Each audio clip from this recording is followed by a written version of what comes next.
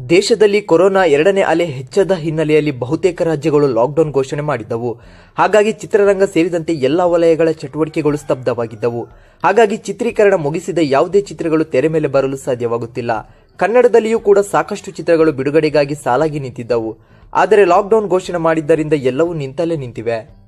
ಹಾಗಾಗಿ ಈಗಾಗಲೇ ಬಿಡುಗಡೆ ಮಾಡಿದ ಸಿನಿಮಾಗಳನ್ನು ಓಟಿಟಿ ಪ್ಲಾಟ್ಫಾರ್ಮ್ನಲ್ಲಿ ಬಿಡುಗಡೆ ಮಾಡಲು ನಿರ್ಮಾಪಕರು ಮುಂದೆ ಬರುತ್ತಿದ್ದಾರೆ. ಅಲ್ಲದೆ ಎಲ್ಲ ಭಾಷೆಯಲ್ಲೂ ಓಟಿಟಿಗಳ ದರ್ಬಾರು ಪ್ರಾರಂಭವಾಗಿದೆ. ದೊಡ್ಡ ಪರದೆ ಹಾಗೂ ಕಿರುತೆರೆಗಳಲ್ಲಿ ಕಾಣಿಸಿಕೊಳ್ಳುತ್ತಿದ್ದ ಬಹುತೇಕ ನಟ ನಟಿಯರು ಈಗ ಓಟಿಟಿಗಳಲ್ಲಿ ಕಾಣಿಸಿಕೊಳ್ಳುತ್ತಿದ್ದಾರೆ. ಅದರಲ್ಲಿ ಪ್ರಿಯಾಮಣಿ ಕೂಡ ಒಬ್ಬರಾಗಿದ್ದಾರೆ. ಅವರು ಮುಸ್ಲಿಂ ಹುಡುಗನನ್ನು ಮದುವೆ ಮಾಡಿಕೊಂಡಳು ಎಂಬ ನೆಪವನ್ನು ಮುಂದಿಟ್ಟುಕೊಂಡು ಕನ್ನಡ ಚಿತ್ರರಂಗದಲ್ಲಿ ಅವಕಾಶಗಳು ಕಡಿಮೆಯಾಗುತ್ತಾ ಬಂದಿತು ಹಾಗಾಗಿ ಅವರು ಓಟಿಟಿಗಳತ್ತ ಮುಖ ಮಾಡಿದ್ದಾರೆ. ಹಲವು ಹಿಟ್ ಸಿನಿಮಾಗಳಲ್ಲಿ ಹಲವು ಸ್ಟಾರ್ ನಟರ ಜೊತೆ ತೆರೆ ಹಂಚಿಕೊಂಡಿದ್ದರು. ಅಲ್ಲದೆ ಬಹುಭಾಷೆಯ ಸಿನಿಮಾಗಳಲ್ಲೂ ಕಾಣಿಸಿಕೊಂಡಿದ್ದರು. ಹಲವು ರಾಷ್ಟ್ರ ಪ್ರಶಸ್ತಿ ಪಡೆದ ನಂತರವೂ ಪ್ರಿಯಾಮಣಿಗೆ ಟ್ರೋಲಿಗರ ಕಾಟ ತಪ್ಪಿಲ್ಲ. ಅವರಿಗೂ ತಮ್ಮ ದೇಹದ ಬಗ್ಗೆ ಕೆಟ್ಟದಾಗಿ ಮಾತನಾಡಿದ ಅನುಭವವಾಗಿದೆ.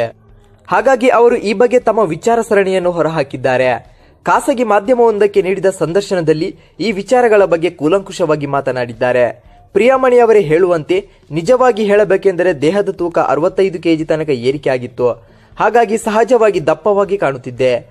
ಈಗಿರುವುದಕ್ಕಿಂತಲೂ ದಪ್ಪವಾಗಿ ಕಾಣುತ್ತಿದ್ದೆ. ಅದಕ್ಕೆ ಅನೇಕರು, ನೀನು ದಪ್ಪ ಆಗಿದ್ದೀಯಾ ಎಂದು ಹೇಳುತ್ತಿದ್ದರು. ಆದರೆ ಈಗ ಅದೇ ಜನರು, ನೀನು ತೆಳ್ಳಗಾಗಿದ್ದೀಯಾ? ಎನ್ನುತ್ತಿದ್ದಾರೆ. ನೀನು ದಪ್ಪ ಆಗಿದ್ದಾಗಲೇ ಚೆನ್ನಾಗಿ ಕಾಣುತ್ತಿದ್ದೆ. ಹಾಗಾಗಿ ಮೊದಲಿದ್ದ ರೀತಿಯ ನಿನ್ನನ್ನು ನಾವು ಇಷ್ಟಪಡುತ್ತಿದ್ವಿ ಅಂತ ಹೇಳಿದ್ದಾರೆ. ಪ್ರಿಯಮಣಿ ಅವರು ಸ್ವಲ್ಪ ಕಪ್ಪಾಗಿದ್ದಾರೆ ಎಂಬ ಕಾರಣಕ್ಕೂ ಅವರನ್ನು ಅವಹೇಳನ ಮಾಡಿದ್ದಾರೆ. ಹಾಗೆ ಮಾತನಾಡಿದವರಿಗೆ, ನನ್ನ ಚರ್ಮದ ಬಣ್ಣ ಕಪ್ಪಾಗಿದ್ದರೆ ಅದರಲ್ಲಿ ಯಾವುದೇ ತಪ್ಪಿಲ್ಲ. ಯಾವುದೇ ವ್ಯಕ್ತಿಯನ್ನು ಕಪ್ಪು ಎಂದು ಜರಿಯಬೇಡಿ. ಕೇವಲ ಬಣ್ಣಕ್ಕೆ ಬೆಲೆ ಕೊಡಬೇಡಿ ಕಪ್ಪಿನಲ್ಲೂ ಬ್ಯೂಟಿ ಇದೆ ಎಂದು ಬಹಳ ಸೂಚ್ಯವಾಗಿ ಉತ್ತರ ನೀಡಿದ್ದಾರೆ. ನಾನು ಮೇಕಪ್ ರಹಿತ ಫೋಟೋಗಳನ್ನು ಸಾಮಾಜಿಕ ಮಾಧ್ಯಮಗಳಲ್ಲಿ ಹಂಚಿಕೊಂಡರೆ ಅರ್ಧಕ್ಕರ್ಧ ಜನರು, ಓ, ಮೇಕಪ್ ಮಾಡಿಕೊಂಡರೆ ಮಾತ್ರವೇ ಚೆನ್ನಾಗಿ ಕಾಣುತ್ತೀಯಾ ಅಂತಾರೆ. ಅಲ್ಲದೆ ಮೇಕಪ್ ಇಲ್ಲದಿದ್ದರೆ ಆಂಟಿ ತರ ಕಾಣ್ತೀಯಾ ಅಂತಾರೆ. ಮನುಷ್ಯ ಯಾವಾಗಲೂ ಒಂದೇ ರೀತಿ ಇರಲು ಹೇಗೆ ಸಾಧ್ಯ? ವಯಸ್ಸಾಗುತ್ತಲೇ ಇರುತ್ತದೆ. ವಯಸ್ಸು ನಿಲ್ಲುವುದಿಲ್ಲ. ಎಲ್ಲರೂ ಒಂದಲ್ಲ ಒಂದು ದಿನ ಆಂಟಿ ಆಗಲೇಬೇಕು. ಯಾವಾಗಲೂ ಹುಡುಗಿಯ ಹಾಗೆ ಇರಲು ಹೇಗೆ ಸಾಧ್ಯ? ಇಂದಲ್ಲ ನಾಳೆ ನೀವು ಕೂಡ ಆಂಟಿ ಆಗಲೇಬೇಕಲ್ಲವೇ ಎಂದು ಪ್ರಿಯಾಮಣಿಯವರು ಪ್ರಶ್ನಿಸಿದ್ದಾರೆ. ಸ್ನೇಹಿತರೆ, ಈ ವಿಡಿಯೋ ಇಷ್ಟ ಆಗಿದ್ರೆ ಲೈಕ್ ಮಾಡಿ, ಶೇರ್ ಮಾಡಿ, ಕಮೆಂಟ್ ಮಾಡಿ.